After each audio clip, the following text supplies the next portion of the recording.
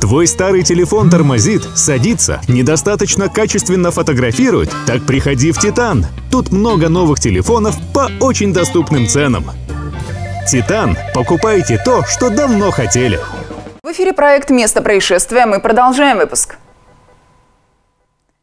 На улице Грибоедова камера зафиксировала, как водитель Нивы въехал в иномарку и скрылся с места ДТП. Об этом и других дорожных происшествиях в рубрике «Видеорегистратор».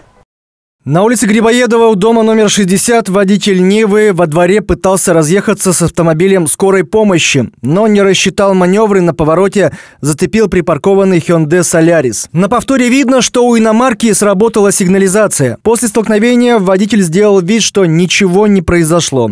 Развернулся и припарковался в другом месте.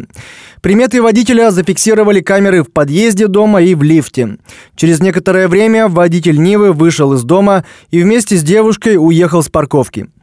Сейчас его разыскивает полиция. Если вы узнали мужчину на видео или видели, как произошла авария, позвоните по телефонам. 8 953 696 23 11 и 588 934. В Слободском на перекрестке улиц Советской и Октябрьской водитель Аки очень жестко не уступил дорогу машине с камерой.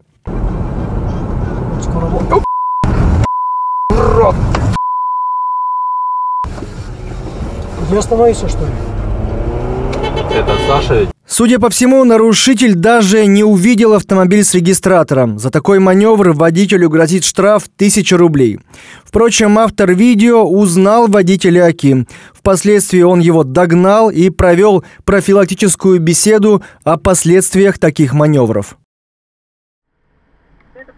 На перекрестке улиц Воровского и Ивана Попова водитель Гранты повернул из среднего ряда налево. Это дома на кровати, в машине, но тоже он со мной рядом сидит. Я жду на парня. Водителю Гранты за такой маневр грозит штраф 500 рублей. Для поворота налево он должен был занять соответствующее крайнее положение на проезжей части. На улице Карла Маркса водитель автобуса забыл закрыть заднюю дверь. Едет с открытой дверью, красавчик. 51 автобус. 848 ДРА. Особенно классно смотреть на удивленные глаза детей, которые сидят на заднем сиденье и смотрят на мир даже не в открытое окно, а в открытую дверь. За такое нарушение водителю автобуса грозит штраф 500 рублей. Впрочем, это такая мелочь по сравнению с тем, что на повороте из салона могут выпасть пассажиры. На улице Ленина у ночного клуба очевидец запечатлел разборку между пьяными компаниями, а потом и драку. Аккуратней!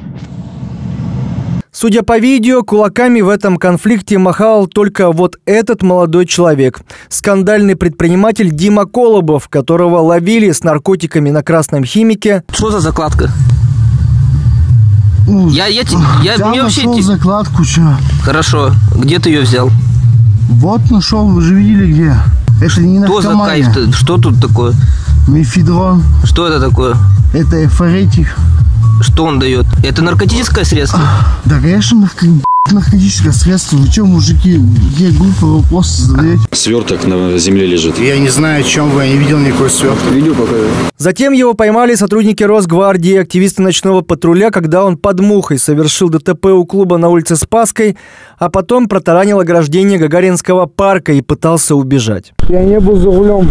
А, два очевидца утверждают, что ты был за рулем. Ну, вы докажите, что они реально очевидцы. По словам Дмитрия, он успешный предприниматель, выступает с обучающими семинарами и помогает другим строить бизнес.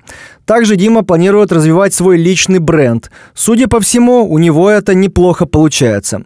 Черный пиар – тоже пиар. Михаил Вагин. Место происшествия.